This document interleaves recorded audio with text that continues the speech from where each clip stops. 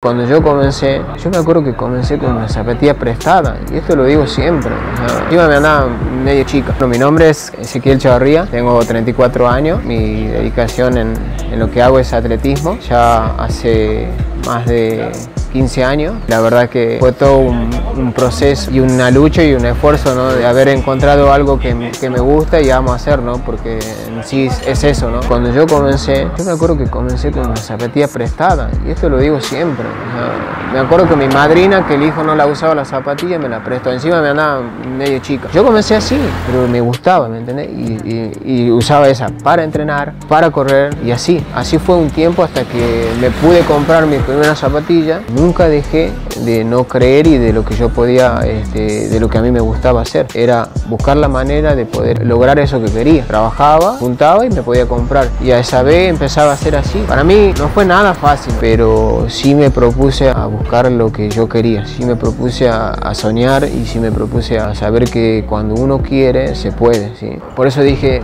nunca voy a dejar de intentar algo que, que, el día de mañana me lo arrepienta. O sea, por más que me digan, wow, estás lejos estás loco, a mí no es nada imposible.